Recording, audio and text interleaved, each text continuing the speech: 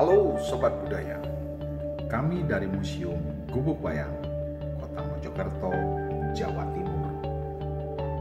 Hari ini kita akan mengenal topeng Majapahit adalah karya pengembangan Panji yang berisikan tokoh-tokoh pada masa kerajaan Majapahit.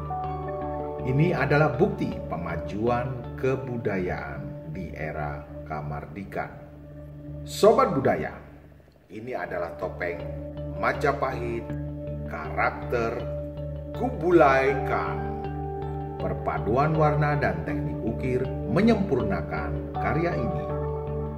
Mari kita lestarikan budaya Majapahit dan Panji, karya anak bangsa Indonesia.